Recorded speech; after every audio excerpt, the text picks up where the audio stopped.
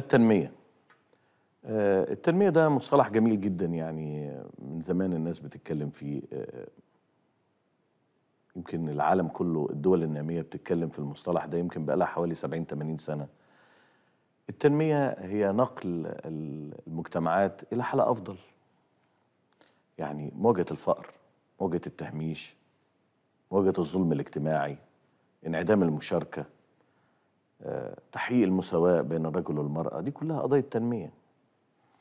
فالقضايا دي آه، محل اهتمام ونقاش وحوار في العالم آه، منذ الخمسينات وقبل ذلك إلى الآن. آه، الدنيا اتغيرت في مصطلح التنمية. يعني مصطلح التنمية بدأ الأول مصطلح اقتصادي بحت. كان الناس دايما تقول لك التنمية يعني النمو الاقتصادي. النمو الاقتصادي زيادة في الناتج المحلي الإجمالي. يعني دخول الأفراد لما تزيد يحصل التنمية. والدول النامية بعد الاستقلال من الاستعمار الخارجي كان عندها كده نشوة في الأول. قال لك بس الاستعمار يسيبنا ونحط إيدينا على الثروات بتاعتنا وده هيساعدنا بعد كده إن إحنا نعمل إيه؟ إن إحنا نحقق التنمية دي. لكن لقوا التنمية ما بتتحققش لأن مفيش كادر بشري كويس مفيش سياسات عامة كويسة مفيش سياسات قوية لمواجهة تحديات التنمية اللي موجودة على أرض الواقع في المجتمع. آه الأسبوع اللي فات آه كان عندي محاضرة في المجمع العلمي المصري اللي شرفت بالانضمام ليه آه مؤخرا. ده المجمع اللي أنشأه نابليون بونابرت أو الحملة الفرنسية. وضم علماء مصر على مدار أكثر من 200 سنة. كانت المحاضرة بتتكلم عن تنمية متعددة الأبعاد تجارب في الاستيعاب.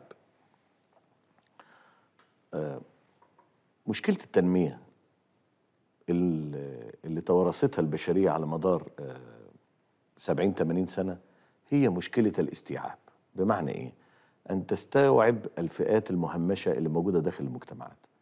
إذا لم نستطيع أن نقضي على عدم المساواة اللي موجودة داخل المجتمع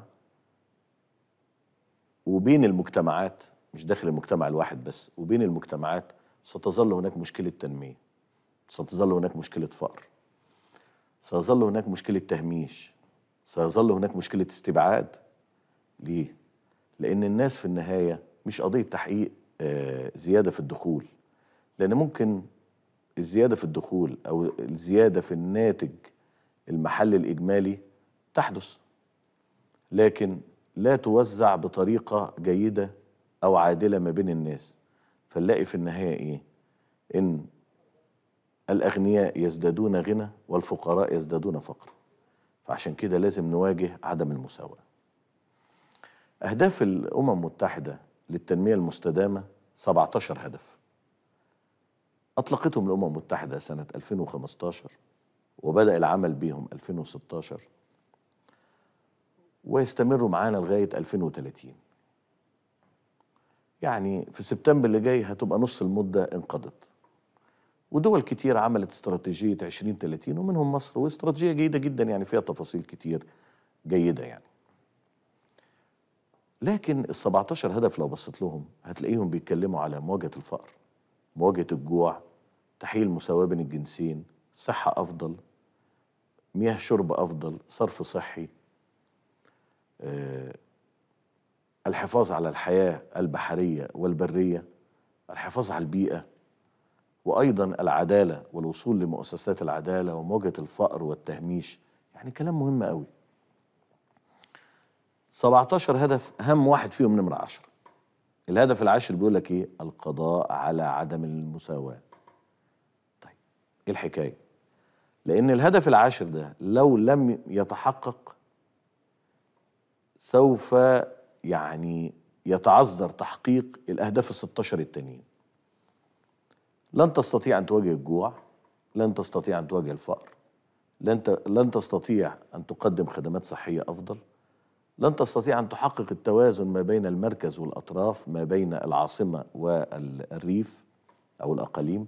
يبقى إذن القضية في أساسها مواجهة عدم المساواة. خبراء الأمم المتحدة بيقولوا هذا الكلام. العالم كله بيتكلم على أن القضية هي عدم المساواة. فعشان كده بقول تنمية متعددة الأبعاد ودي المحاضرة اللي زي ما قلت لحضراتكم ألقلت يعني ألقيتها في المجمع العلمي المصري في حضور الدكتور آه، فاروق إسماعيل رئيس ال- المجمع آه، والدكتور آه، مصطفى الشنوبي الأمين العام. وكان آه، محور النقاش واللي حضروه يعني عدد من الخبراء آه، والمثقفين حول قضية آه، الاستيعاب ومواجهه الاستبعاد وفكرة التنمية متعددة الأبعاد. يعني إيه تنمية متعددة الأبعاد؟ يعني لما تستطيع إن أنت عايز تغير واقع مجتمع ما ينفعش تغيره في ظل الأوضاع اللي إحنا عايشينها في المجتمعات لأن الفقر زاد قوي وتراكم المعاناة زادت قوي. فما أقدرش أدخل في مجتمع النهارده أعمل لهم مواسير مياه نظيفة وبكرة أحاول أصلح البيت وبعده أحاول أديهم فرصة عمل.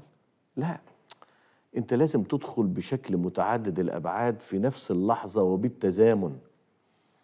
أنا شايف إن مبادرة حياة كريمة عملت الموضوع ده. يعني لما نبص على مبادرة حياة كريمة آه، بالتأكيد هي عملت نقلة لمجتمعات فقيرة جدا. يعني في المرحلة الأولى كان في آه، 4500 قرية كلفت حوالي 400 مليار. دخلت قدمت ميه نظيفة قدمت صرف صحي صلحت بيوت آه، أسقف منازل آه، نشاط اقتصادي اوجدت فرص عمل. يعني بتحاول تغير نوعية الحياة في مكان. ده التنمية متعددة الأبعاد. إن أنا لازم أغير بنقلة نوعية نوعية الحياة اللي موجودة عند شريحة معينة من الناس سواء كانوا آه، يعني في حالة التهميش والفقر وانقلهم مرة مرة أخرى إلى مرحلة التمكين والمشاركة في النشاط الاقتصادي والمشاركة المجتمعية أيضا. ربما إحنا محتاجين نفكر في آه، نظام محلي كفء يحافظ على هذه التجارب تعظيم مشاركة الناس في الشأن العام والشأن الاجتماعي بالذات آه، محاولة آه، آه، يعني إصلاح الأجهزة ال- ال- الإدارية والتنفيذية وتطويرها وتحديثها حتى تحافظ وحتى تتفاعل مع هذه التجارب. كل دي جهود بتحدث لكن ربما محتاجين نشوفها بدرجة أكبر. مسألة التكنولوجيا واستيعاب المهمشين في التكنولوجيا يعني أنا عرفت مثلا أن مبادرة حياة كريمة آه، عملت آه، بعض الاتفاقات آه، مع وزارة الاتصالات من آه، أن تقدم استيعاب رقمي وتكنولوجي للناس ال- اللي يشملهم المبادرة دي. بمعنى إن إنه يكونوا جزء من ال- المنظومة ال- ال- التكنولوجية الموجودة ربما محو اميتهم الرقمية ربما إن هم يشاركوا في الاقتصاد الرقمي يعني باستخدام الأدوات الرقمية وإن يكونوا آه، طرف في هذا الاقتصاد يعني ال- اللي أنا عايز أقوله إن مسألة ال- تعدد الأبعاد في التنمية ومحاوله تغيير المجتمعات من خلال تدخلات كتير متزامنة في نفس الوقت هو ده اللي بيقضي على الفكرة الأساسية التي تعيق التنمية في أي مجتمع وهي انعدام المساواة. طبعا أوضاع العالم صعبة. تقرير صدر من الأمم المتحدة يمكن الأسبوع اللي فات بيتكلم على إن أهداف التنمية المستدامة المتصور تحقيقها في 2030 بتواجه صعوبات شديدة جدا. نتيجة تباطؤ الاقتصاد العالمي ومشكلات الحرب في آه، أوكرانيا وقبليها مشكلة آه، وباء كورونا. دي كلها من الأمور اللي بتعطل فكرة تحقيق هذه الأهداف اللي هي في النهاية بتصب في تغيير نوعية الحياة وزي ما قلت لكم الهدف نمرة 10 اللي هو موضوع مواجهة عدم المساواة. اسمحوا لنا نخرج بفاصل آه، ونعود لاستكمال فقرات هذه الحلقة.